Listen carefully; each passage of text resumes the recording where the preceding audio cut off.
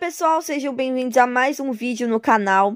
No vídeo de hoje é um vídeo muito especial que vocês vão ter que assistir, porque é um vídeo que eu vou estar mostrando para vocês o processo da tatuagem que uma das tatuagens que eu tenho mais orgulho de ter feito, gente. Eu gostei muito do resultado, pessoal. Então, se você não me conhece, eu sou a Aline Cristina e eu faço tatuagens há dois anos. E cada movimento que eu faço na tatuagem, cada investimento, cada experiência que eu tenho na tatuagem, eu mostro aqui nesse canal, que é praticamente um diário de uma tatuadora, que sou eu. Então, se você for novo, se inscreva no canal para não perder nenhum vídeo, tá bom? É, deixe o seu like, isso vai me ajudar muito. E ative o sininho para não perder nenhuma notificação do canal. Olha aí o cartucho caindo da minha mão de novo, gente.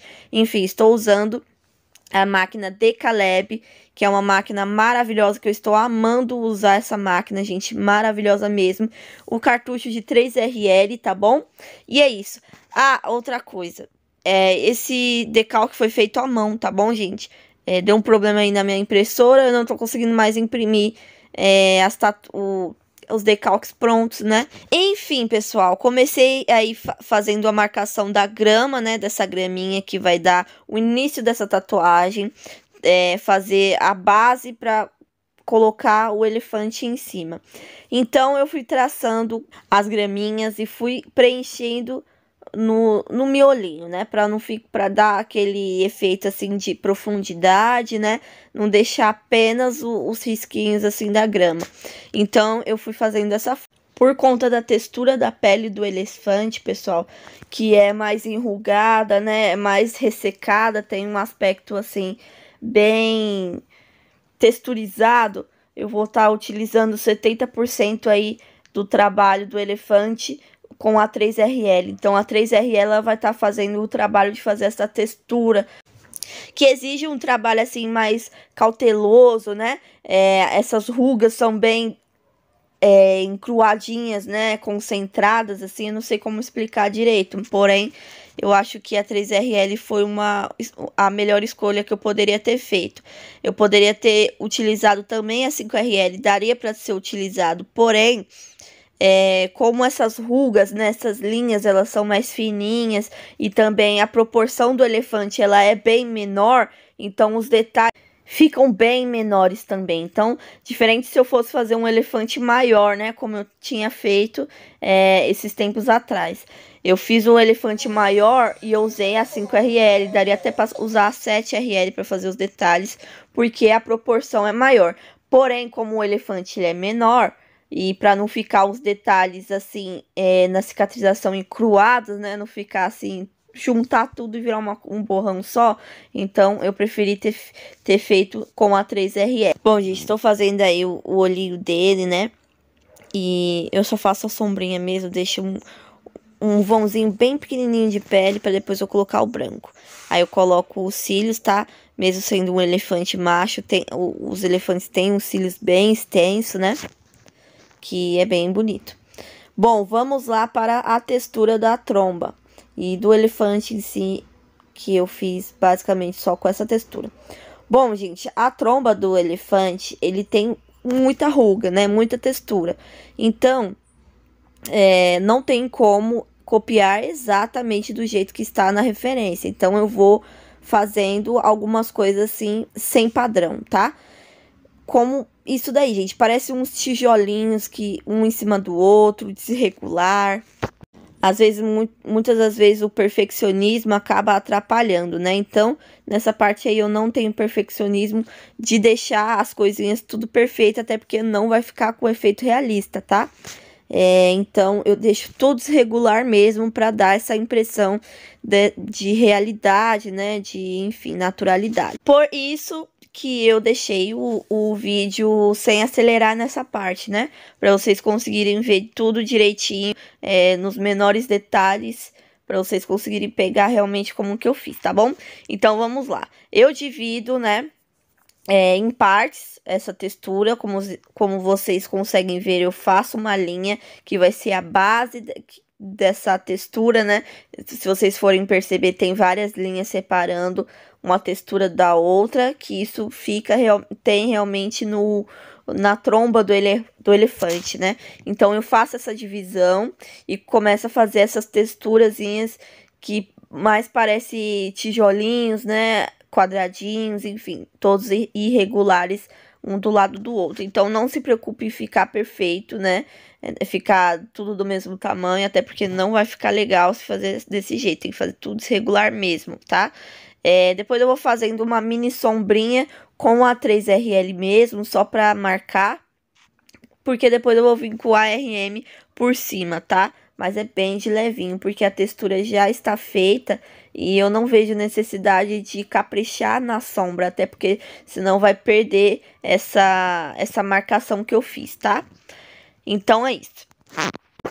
Como o elefante é pequeno, é, não é tão trabalhoso quanto fazer um elefante grande. Tem que ter muita, muita paciência, pessoal, para fazer um por um. Tem que ter muita paciência.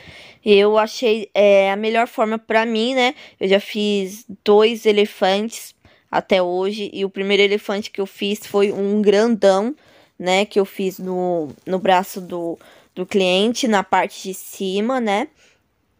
No bíceps, porém na parte superior. Eu não sei como é, como é o nome, acho que é tríceps, né? Enfim, aí eu fiz o elefante lá, foi, gente, foi nove horas de tatuagem só pra fazer o elefante, porque é muita textura, muita sombra, muito, enfim.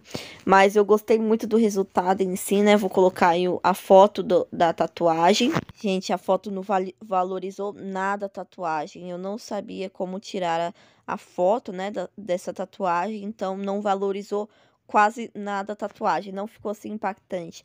Pessoalmente é muito bonita, porém no, na foto não ficou legal, né? É, quer dizer, a foto em si não ficou legal, não, val, não valorizou a tatuagem, enfim. É, foi, foram nove horas, né? Que eu fiz o elefante, um elefante bem grandão com o, o nascer do sol, né? Foi a primeira vez que eu usei a Decaleb tá? Creio que se fosse outra máquina eu demoraria ainda mais, né? Então, pessoal, se vocês forem perceber, essa textura não é apenas na tromba do elefante, né? Ela também vai para é, as pernas, é, na cabeça dele toda, enfim, é bastante textura que a gente tem que trabalhar. É, depois eu vou depois de marcar a sombra, né? A sombra não, marcar a textura, né? Nas perninhas, enfim. Aí eu vou marcando com a 3RL mesmo a, a sombra, né? Porque caso saia o decalque, aí eu tenho lá a marcaçãozinha da sombra.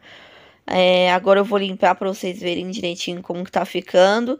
E dá pra ver que a sombra é indisp indispensável, né, pessoal? É necessário colocar a sombra assim. Só colocar a textura não vai ficar com uma aparência é, bonita, legal, né? Então, é, mas sem exagerar na sombra, pessoal. É só uma sombrinha bem leve por cima da textura. Onde tem é, sombra mais escura, eu capricho, porém onde não tem, aí eu passo bem de levinho. Então, muitas pessoas me chamam no Instagram me perguntando é, como que eu consegui evoluir tão rápido, né? Porque a minha evolução é realmente nítida com tão, tão pouco tempo de tatuagem. Isso é o que as pessoas dizem, tá, pessoal? É o que me chamam e me falam como que eu evolui tão rápido, blá blá blá. Bom, gente, é claro que sim, eu reconheço, né, que tem sim uma grande evolução na, no meu trajeto, né, na tatuagem, eu reconheço. Porém, eu posso dizer para vocês que eu estou muito longe do meu objetivo por enquanto, né? É, dois aninhos aí de tatuagem, é, eu reconheço sim que eu evoluí bastante, porém eu estou muito longe do meu objetivo, tá?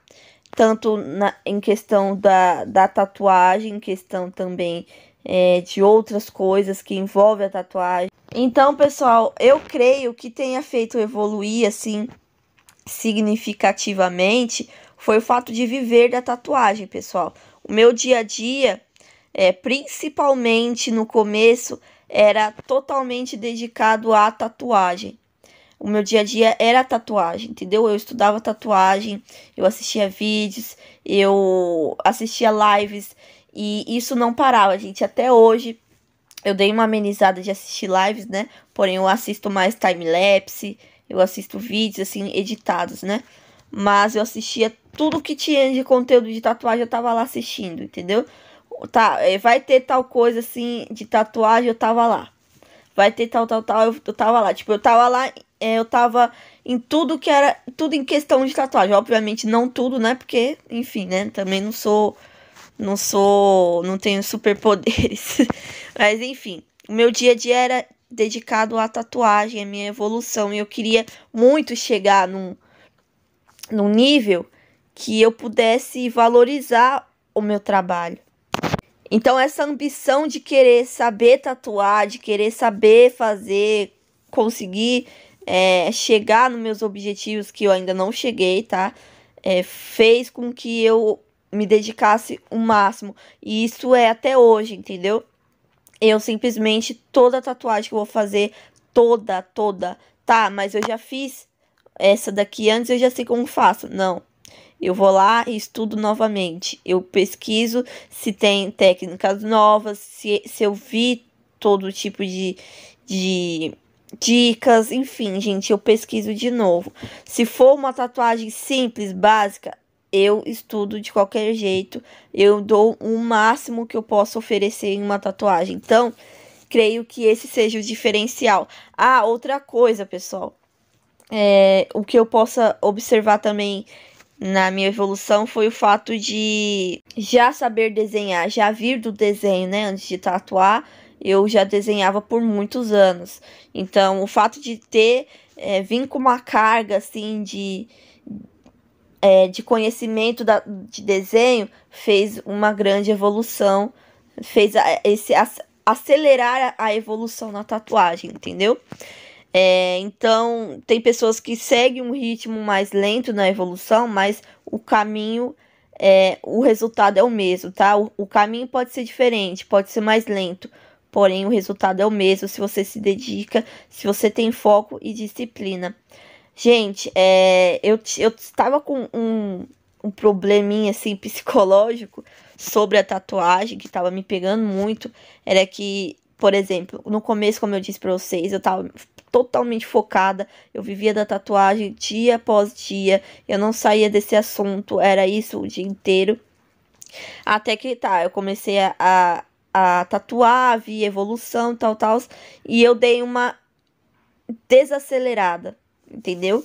Tipo assim, por exemplo, pra vocês terem noção, o fato de assistir uma série de televisão pesava na minha consciência. Eu pensava, vixe, Agora que eu, né, tô tatuando melhor, eu não, eu não, eu não tô me dedicando mais, entendeu? Mas sim, eu estava me dedicando, só não tava no mesmo ritmo do começo, entendeu? Que é super natural.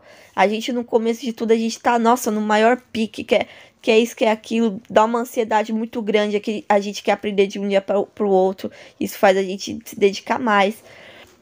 E quando a gente começa a chegar num nível, assim, começa a aprender, a gente dá uma desacelerada. Isso é totalmente normal e comum do ser humano. Mas eu estava me sentindo mal por isso, entendeu? É, e eu não consegui, tipo assim, eu não conseguia dar um espaço para mim, pro meu pessoal, né? É, tipo, o meu ser assim, pessoal, tipo, ah, eu quero assistir uma série, mas eu não vou assistir, senão eu vou me sentir mal depois, entendeu? Isso eu fui trabalhando dentro de mim. Eu tenho que dar uma, uma pausa né? Eu tenho que dar uma pausa para depois continuar com mais gás ainda. Então, é, isso, se vocês estejam passando por isso, né? Ah, eu estou me sentindo mal por tal coisa, né? Não estou conseguindo me dedicar tota, totalmente. Gente, não se cobre tanto, porque é, você está fazendo o melhor que você possa fazer. Se você está realmente fazendo, você você tem que reconhecer isso, entendeu? Se você acha que você pode fazer melhor, vai lá e faça. Mas se você acha assim, ah, eu já estou fazendo é, o melhor de mim, não estou fazendo tanto quanto antes, né? É, me dedicar tanto quanto antes, mas eu estou fazendo o melhor que eu possa fazer. Então não se sinta, não se cobre tanto, né?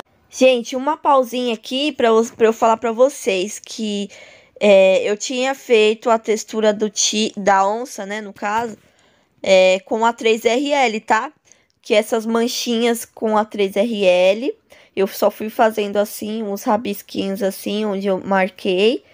E, e o, rest, o restante eu fiz tudo como se fosse normal de um leão mesmo. O diferencial foi isso, de fazer as manchinhas. Porém, agora eu estou utilizando a Magno curvada para fazer é, uma camada de cinza por cima de tudo. Vocês viram que ficou uma, um, uma tinta cinza assim por cima, porque eu estou fazendo essa camada de cinza em cima de tudo, né? Menos nas partes que são brancas para realmente dar aquela liga, né, para dar aquela junção na tatuagem, diferenciar o que é pele e o que é tatuagem. Eu usei a 25RM, tá, que é curvada. É, essa agulha ela é da Hornet, tá? Não que seja tipo relevante, eu só tô falando a marca mesmo.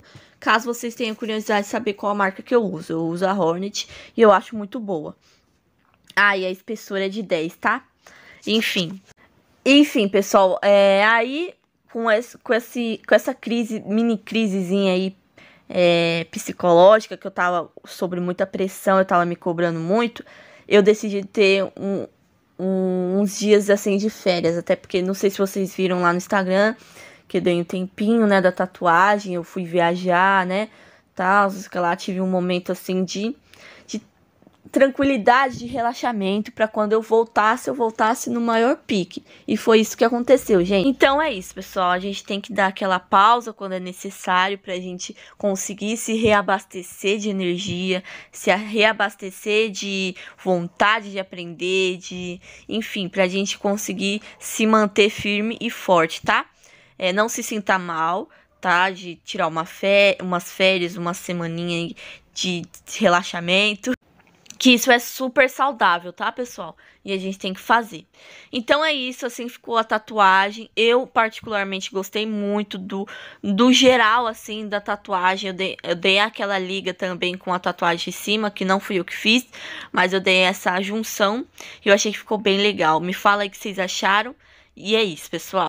Não se esqueça de deixar o like, de se inscrever se você for novo, ativar o sininho, me seguir lá no Instagram, ali no Tatuagem. E é isso, até o próximo vídeo.